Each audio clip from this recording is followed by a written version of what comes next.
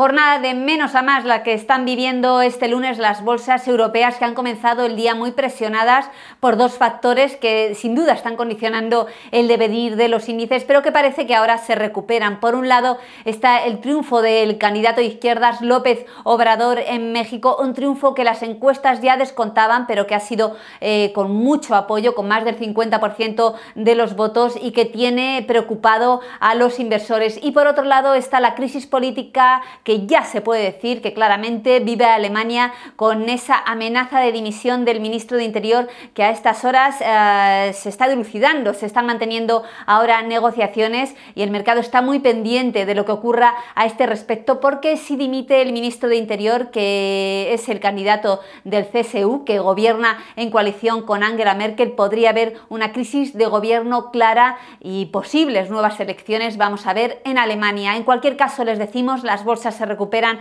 a estas horas. El IBEX 35 que ha llegado a perder los 9.500 y ha llegado a dejarse más de un 1,5%, ahora cede un 0,7% y el DAX alemán Ahora mismo cae apenas un 0,2%. Los futuros estadounidenses, que también han llegado a caer en torno a un 0,8%, en estos momentos retroceden un 0,3%. Por lo tanto, tranquilidad, vamos a ver qué es lo que ocurre en Alemania. Eso sin duda lo más importante, lo que tiene en vilo a los inversores en estos momentos. En cuanto a los datos macro de la jornada, tenemos que hablar de esos PMI manufactureros en Europa con una caída del PMI en la zona euro hasta niveles de 54,9 desde 55 y desde la previsión de 55. En cuanto a la tasa de desempleo de la zona euro del mes de mayo, se ha mantenido estable en el 8,4%.